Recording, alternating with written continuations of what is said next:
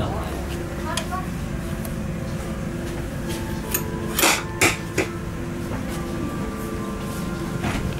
Wysiadłem na stacji Mainz Hauptbahnhof, czyli Moguncja Główna.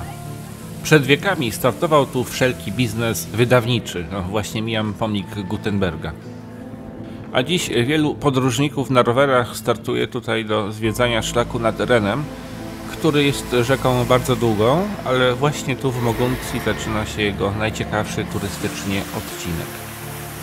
Nawigacja po mieście jest łatwa, trzeba jechać najpierw w kierunku widocznej z daleka romańskiej katedry.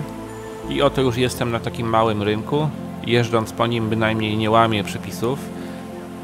Tu wolno jeździć, tylko w tempie piechura, jak pokazuje ta tablica im Schritt Tempo.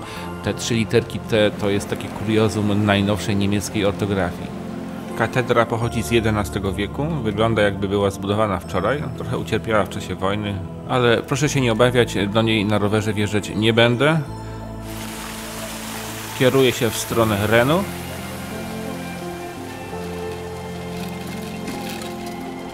Oto i on w całej swojej okazałości. Gdzieś tutaj uchodzi rzeka Men, nad nią też biegnie ciekawy szlak, ale to jest zupełnie inna opowieść. I zaczynam jazdę nad rzecznym bulwarem z prądem rzeki. I jak na razie nie widać tu nic nadzwyczajnego.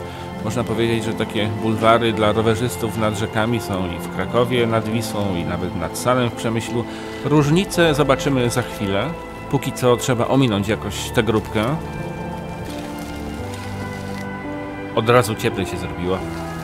Jeszcze przejazd pod mostem. O, jakie fajne cegły.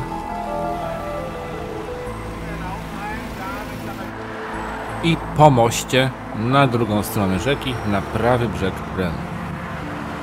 Drogowskaz rowerowy dodaje otuchy, że jesteśmy na właściwym szlaku.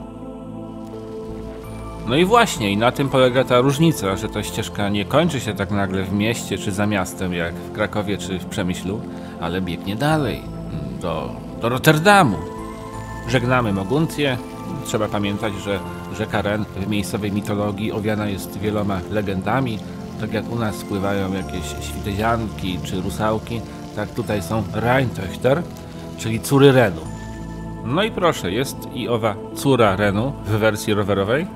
Dokąd nas doprowadzi, zobaczymy już niedługo.